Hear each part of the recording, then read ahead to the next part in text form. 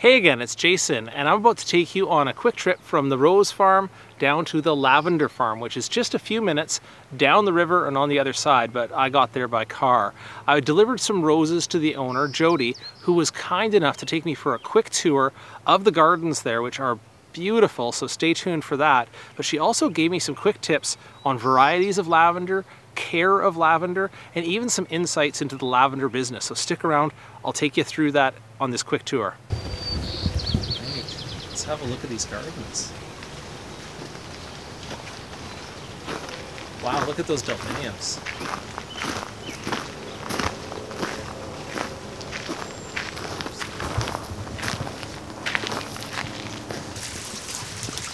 St. John's wort. Our bees love these. Yeah, that's tall though, right? Yeah, it's really tall. That's gorgeous. We use St. John's wort to make some of our products. So hidden in the gardens are all kinds of herbs and flowers that we're actually using to make our soap and spa products and other things. Including this echinacea, which is going to come into bloom Yes. quite soon. The first few are, are popping up. So what kinds of varieties of lavender do you grow here? Mostly English lavender. Mm-hmm. Um, a few varieties of French, but mostly um, Hidcote and Munstead. Nice. Now, I think when I came through last time, I saw some of them that might have been more like the intermediate varieties with the sort of grayish foliage. Yes. Um, stronger.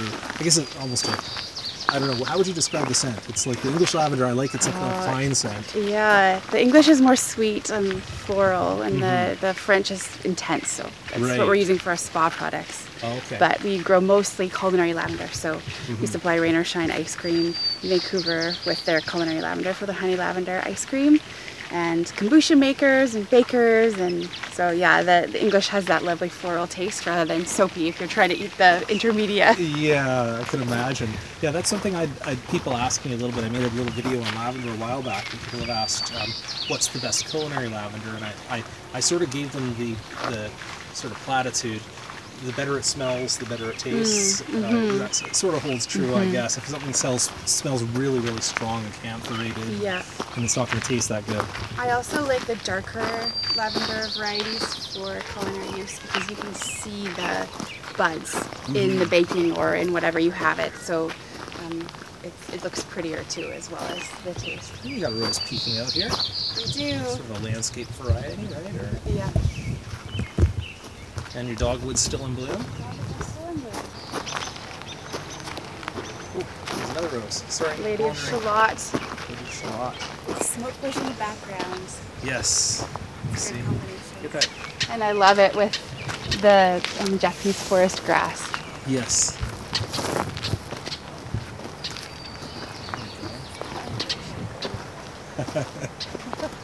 Hasn't been a very good spring for roses.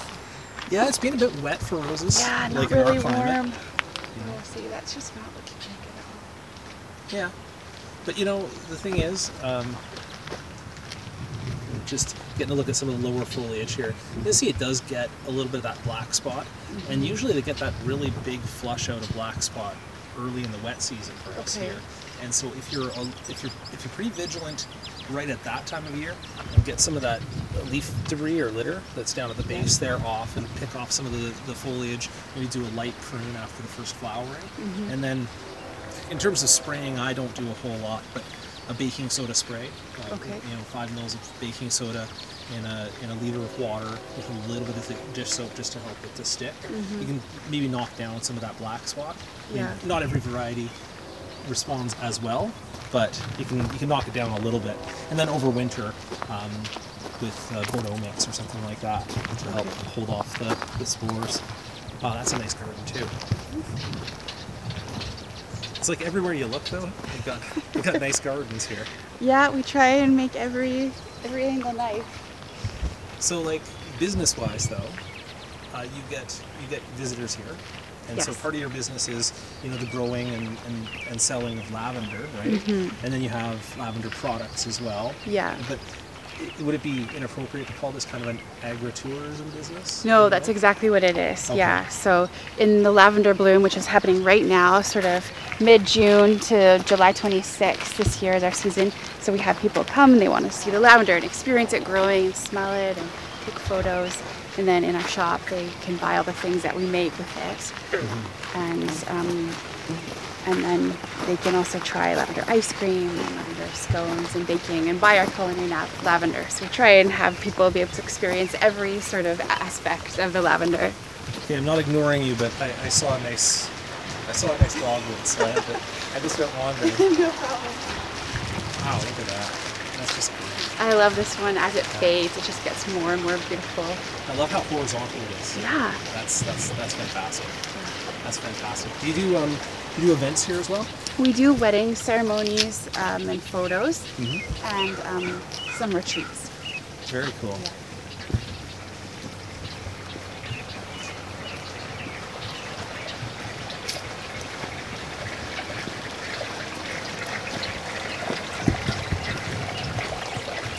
Oh, more roses. More roses. I'm sneaking over. Nice cat. I'm not in very good shape either. That's okay. It's just, as I said, I'm scared Yeah, you know, some are just better than others. Is this is this um is that is that topaz jewel? I didn't plant this particular one. Some I've planted and some I inherited. Um, and I don't have the names for some. So, Well, I think it's topaz jewel. And just to make you feel a little better, if you went to my garden at exactly right now, you'd see topaz jewel in exactly the same condition. oh, that's a Just, relief. Uh, you see a lot of this stippling on the leaves here. Sorry, I'm gonna try to focus in on that stippling on the leaves. It's um, leaf hopper. It's a little insect that comes around and just scratches up on the leaves and leaves these yellow marks. And it's a very short-lived problem in the garden. Okay, that's But- good news. But then, of course, it just leaves the damage there for the rest of the season. So, uh, fighting it, uh, I found a little bit. You can use the yellow sticky cards, like the monitoring cards that, uh, that they use in horticulture. You just put those up, and it'll, it'll trap a whole bunch of them and get them off. Uh, you use a lot of the the, uh, the Japanese forest grass. Yeah, I, I love how it lights up the shade, and especially here where we have the honey locust trees, um, and the, the grass brings that dark yellow, bright yellow into the shade. Fantastic. I've had fun experimenting with all the types of flowers that look nice with lavender. So, Well, that's what, you know, like people say about my rose farm, and they're like, "Oh, well, you have a rose garden." I'm like, "Well, yeah, there are roses in the garden. That's that's kind of the way it's supposed to be. You know, you- Yeah. You, mix a little bit, you Yeah. play around to get them all looking good together. yeah. These, I wish those were out for you. These are the Sphaerocephalon, the drumstick allium, and they are my favorite. They're so whimsical and fun. I mean, I like them already. Are in these this. the ones that do like almost like the fireworks type thing? Like, No, that's these different are stuff. sort of yeah. These are sort of egg shaped, Mm-hmm. And they um, are like half green and half purple, and then they go all purple. They're really fun. Send me a picture. I will. so there's some good shots um, in, in here. Oh, you see, this is really, really nice. So, you know, people will ask me the question uh, about la- growing lavender is, you know, what do you need to succeed with it? You know, one thing that's kind of like a standard piece of advice is you can't have winter wet. No, You gotta have good drainage. gotta have good drainage. What else? Uh, full sun. Full sun. Yeah, Okay. full sun and good drainage. And, And you have to prune it, yeah, otherwise it gets leggy and lanky and it just doesn't give you that full lavender um, thriving bush. It's kind of long branches sticking out and So what's what's the timing on the pruning? We prune um, after it finishes flowering and then uh, again in fall to make sure that it's growing into winter with a really good shape. Fantastic. So do you get two blooms We year? do, yeah. So our field rose, which we'll probably go to soon, we cut those uh, probably next week. Um, and so we'll get another bloom on those. They'll bloom again at the end of August. This lavender here, we just let it bloom until it goes gray um, for people to take photos in and, Oh, okay, and come it. visit. And so we don't get a bloom again on Yeah, it makes sense. I mean, if you if you cut it all down you know, to maximize your bloom, you're really going to cut out your your tour season a little bit. right? Exactly. So this this is just for the bees and for the visitors.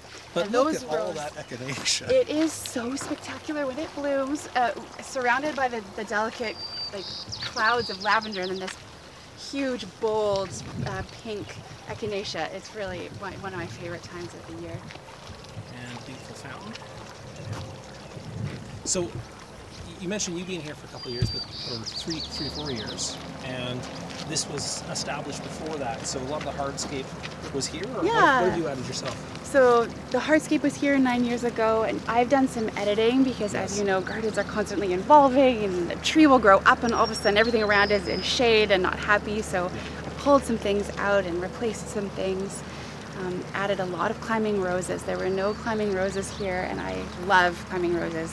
Um, uh, my favorite kind of garden is the, romantic English garden, so that's that's essential to have climbing roses climbing over things with that. So I planted some Eden climbing roses, and that are beautiful, and honeymoon. It's got to be pretty intimidating with a nice garden like this to like take those first those first edits. right? Yes, it was quite scary, but you just gotta go for it.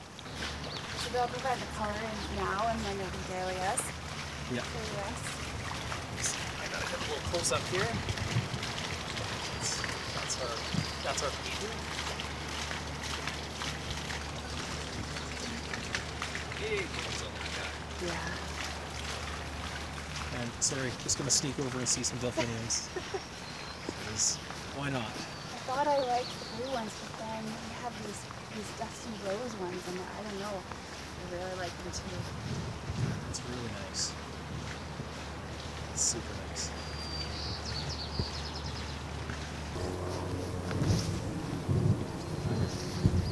There we go. So two cuts a year. You dr- you dry. We cut and You bundle. Yeah, cut and bundle like end of June, beginning of July, depending on the year. Hang it to dry, and then um, we just give it trim in the fall. Make sure that it's going to. Work. That's fantastic.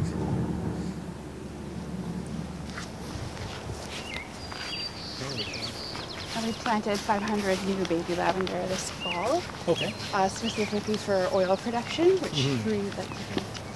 So which type did you go with? With Grosso or? Well, um, we went with Maillette. Okay. which is the highest quality English lavender essential Oh, oil in the world. It's world famous for um, just the, the sweet scent. So the English lavenders, uh, they have less oil, Mhm. but it's extremely high quality. Oh, there's another smoke bush. You like your smoke bush? Yeah. Me too. Have you done anything with Nine Bark? Seems similar I have but- some, yeah, Yeah. I love the nine bark. The other uh, shrub with dark dramatic foliage that I love is the black lace elderberry.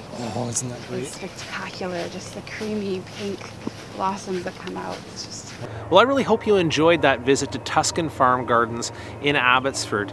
It was an excellent trip for me. Loved seeing what they're doing there. Now, before you get any funny idea is to just Google the place and drive on over for a tour of those gardens, I need to let you know that you do need tickets to attend those gardens. Uh, just like every other small farmer, Jodi's had to make some adjustments to the way she does business, and that includes controlling access and providing social distancing on the site. Uh, they are open for tours at uh, Tuscan Farm Gardens until July 26th of this year. That's 2020 if you're watching it, uh, contemporary to when I put it out. Otherwise, do check their website for open hours in coming Thank you so much for watching.